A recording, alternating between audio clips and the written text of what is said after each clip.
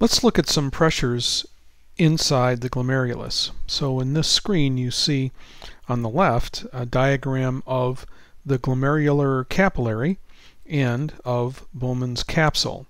And on the right we've taken one little piece of that capillary and moved it out so that we can look at the pressures.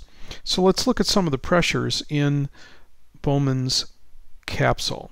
So in the glomerular capillary we have a pressure that's pushing fluid out, and that pressure is the pressure in the glomerular capillary. And that pressure is about 55 millimeters of mercury. And that pressure, of course, is the blood pressure. That's the pressure inside the capillary.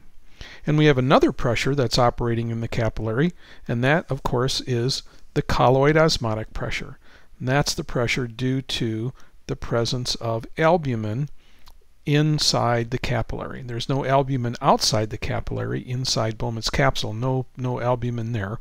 And that pressure, of course, is drawing fluid back into the glomerular capillary. And the colloid osmotic pressure is um, in the neighborhood of 30 millimeters of mercury. And now we have one more pressure to deal with, and that's the pressure that's inside the bubble, that's inside the Bowman's capsule. So that's the pressure in here. And that pressure is a pressure that's going to be pushing fluid back up into the glomerular capillary, the pressure in Bowman capsule, and that pressure is about 15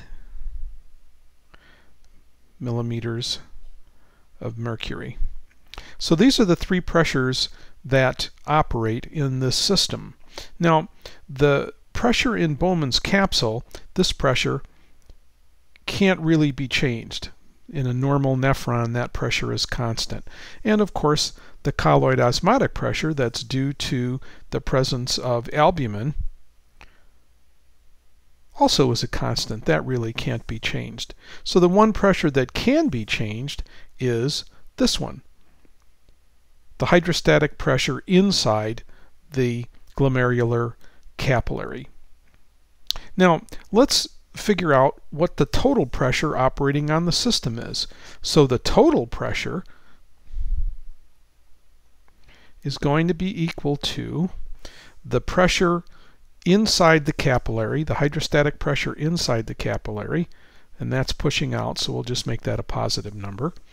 And there's also going to be a pressure from the colloid osmotic pressure, and that's operating in the opposite direction, so we'll make that a minus 30 millimeters. And then, of course, there's a pressure inside Bowman's capsule that's pushing the fluid back in, and that's about 15 millimeters of mercury. And when we add all of these up, we get a total pressure of about 10 millimeters of mercury, and that pressure is pushing fluid out of the uh, glomerular capillary and into the urinary space. That's the space inside the bubble. So that total pressure is about 10 millimeters of mercury. Okay, so that's it. Very simple explanation of what's going on inside a Bowman's capsule.